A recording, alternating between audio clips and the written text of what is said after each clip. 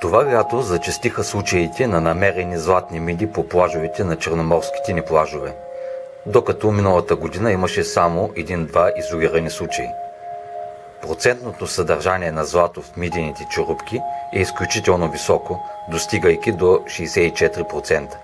Все още не са направени задълбочени изследвания, но според морските биолози става въпрос за своеобразна мутация на вида Мия аренария.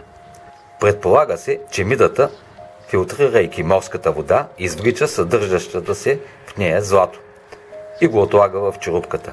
И като потвърждение на тезата, че няма нищо случайно в природата, вероятно златото се натрупва в черупката като защитна реакция. Златото като тежък метал прави черупката по-устойчива на морските бури. Но като ирония на съдбата, естествената защитна реакция ще изиграе лоша шега на мидите.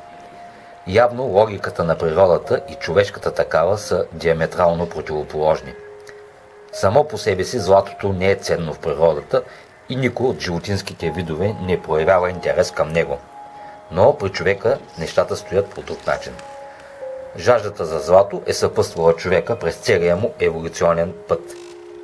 Може да се окаже, че видът Мия аренария е реално застрашен от изчезване поради предполагаем неконтролируем улов. Предстоящите изследвания ще бъдат и в посока дали този вид е податлив на култивиране за промишлено извличане на ценния метал. Очаква се през следващия сезон истинска златна треска, подобна на тази в Клондайк.